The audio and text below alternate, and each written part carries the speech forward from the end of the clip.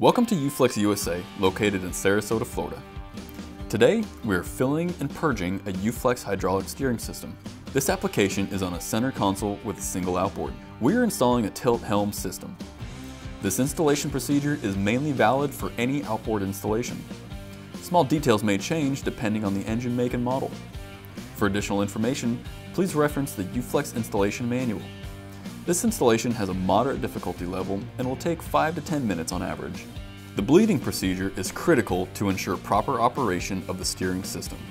Today, we are using the UFlex Bubble Buster purging device. On the helm, replace the filler cap with a double connector supplied to the purging device. Connect the supply and return line to the helm and the two bleeder lines to the bleeders on the cylinder. Next, connect the clamps to the battery and check oil level in the tank. Now, unscrew the bleeders of the cylinder and make sure they are open so the flow is unobstructed. Then, start the purging device.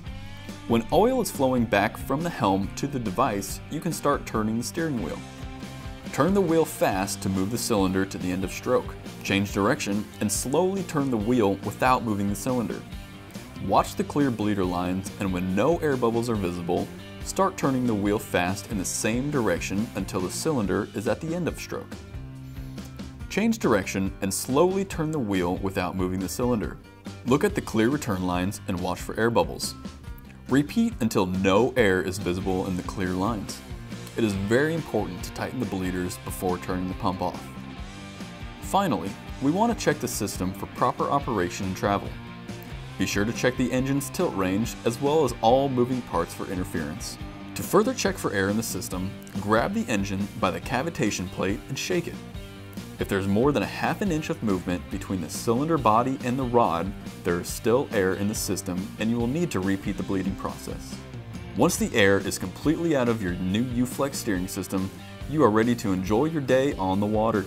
To complete the system installation, be sure to check out our other videos. For additional information, please reference the UFlex installation manual or check out our website.